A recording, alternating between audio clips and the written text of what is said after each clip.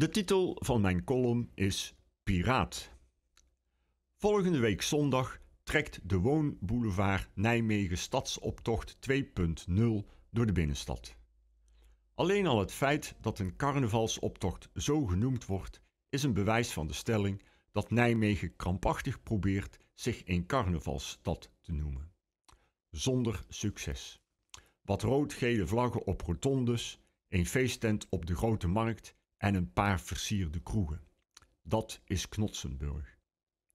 Hubert Bruls moet zich als geboren en getogen Limburger toch vaak achter zijn oren krabben van plaatsvervangende carnavalsschaamte. S'avonds in bed droomt hij nog dikwijls over de periode dat hij burgemeester van Venlo was. Stedje van lol en plezier. Daar is de hele stad vier dagen lang één kolkende, feestende menigte. Een repertoire van honderden lokale carnavalsliedjes in het dialect die iedereen zonder problemen kan meezingen. Carnaval als verbindend feest. Kijk op YouTube maar eens naar de prachtige documentaire Noor het Zuye. Verdere uitleg is daarna overbodig. Tot overmaat van ramp kreeg Bruls een tijd geleden de vergunningsaanvraag onder ogen van volkszanger Gert Jan Wels. Die wilde volgend weekend een groot carnavalsfeest van vier dagen organiseren in een feesttent op plein 44. Er waren door hem al tientallen Nederlandstalige artiesten geboekt om te zingen in het Grodes van Nimwegen Gekkenhuis, zoals de feesttent door hem was gedoopt. Bruls schrok zich te barsten. Hoezo vier dagen lang allerlei bekende Nederlandstalige artiesten als carnavalsfeest?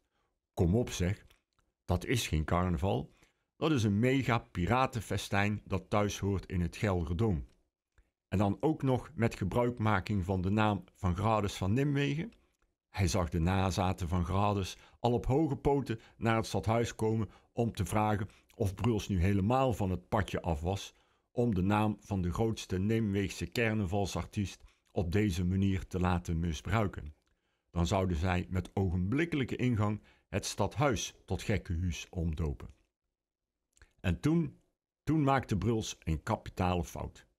Hij had de vergunningsaanvraag met bovenstaande zeer gegronde redenen moeten weigeren en in zijn wekelijkse persconferentie moeten zeggen dat hij bij een Nimweegs carnavals gekkenhuis aan heel iets anders denkt dan aan Vieze Jack, Peter Beenze en hoe ze allemaal ook mogen heten.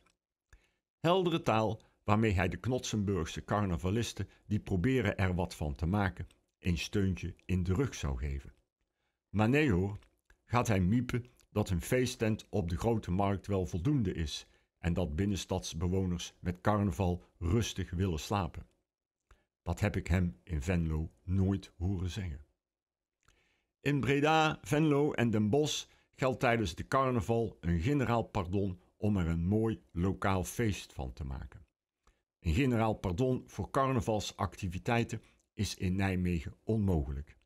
Hier wordt een generaal pardon gebruikt om allerlei activiteiten in het honigcomplex voor acht jaar mogelijk te maken zonder vergunning. Dat past bij het anarchistische karakter van Nijmegen.